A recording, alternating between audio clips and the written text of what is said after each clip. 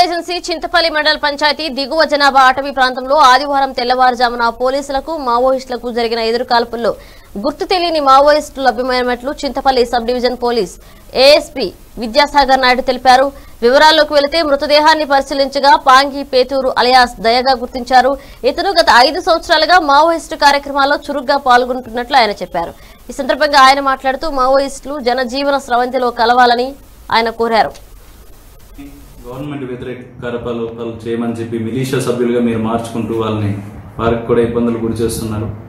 ఈ విధంగా ఇక్కడ జరుగుతున్న ఎదురుకాల్పులు చూసుకుంటే ఎక్కడా కూడా సీనియర్ మావోయిస్టులు అన్నది వాళ్ళకి ఏమీ అవ్వట్లేదు. ఎందుకంటే వీళ్ళు అమాయకులైన ప్రజల్ని మిలీషియా సభ్యుల్ని అదేవిధంగా వీళ్ళు మభ్యపెట్టి తీసుకువచ్చిన దళం మెంబర్స్ వీళ్ళందరినీ ముందర హ్యూమన్ షీల్డ్ అంటే మానవ షీల్డ్స్ కింద పెట్టుకుని వీరిని అడ్డం పెట్టుకుని వీరి ప్రాణాలతో వీళ్ళు చెలగాటమాడుతున్నారు ఇప్పుడు చనిపోయిన అతను పాతిక సంవత్సరాల యువకుడు. వీళ్ళ అన్నయ్య కూడా అంత ముందర ఒక ఎన్కౌంటర్లో చనిపోవడం జరిగింది. వారి కుటుంబ సభ్యులు ఎంతో బాధపడుతున్నారు. మాకు పోలీసులుగా వీళ్ళు మన సొంత దేశానికి సంబంధించిన వాళ్ళు వీళ్ళు ఎక్కడ బయట వాళ్ళు కాదు. మేము అందుకనే ఒకటే మాట చెప్పదలుచుకున్నాం.